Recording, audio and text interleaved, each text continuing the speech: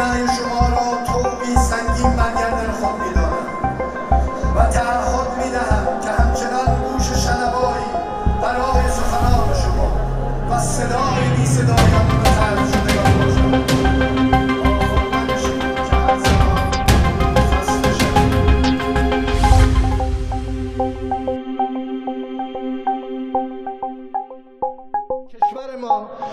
سادگی در مقابل اینها سرخم نخواهند کرد و نخواهیم کرد و ایستادیم و uh, Crisis, uh, time to end.